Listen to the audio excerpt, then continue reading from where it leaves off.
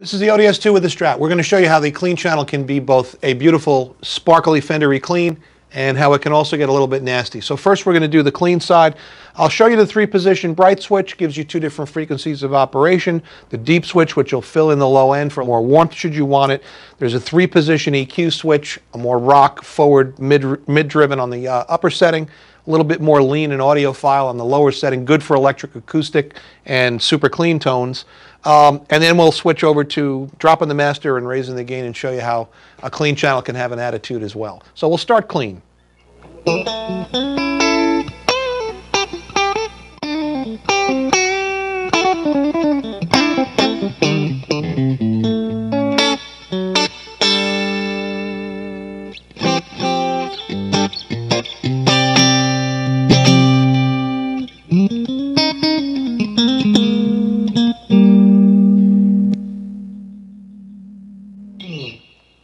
All right, so that's the clean channel. Spanky clean, no drive at all, lots of tonal flexibility.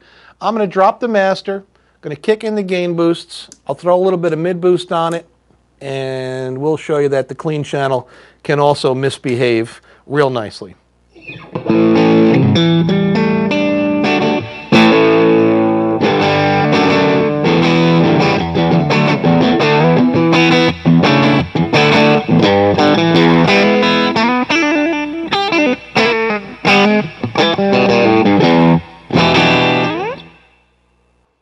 And there you have it.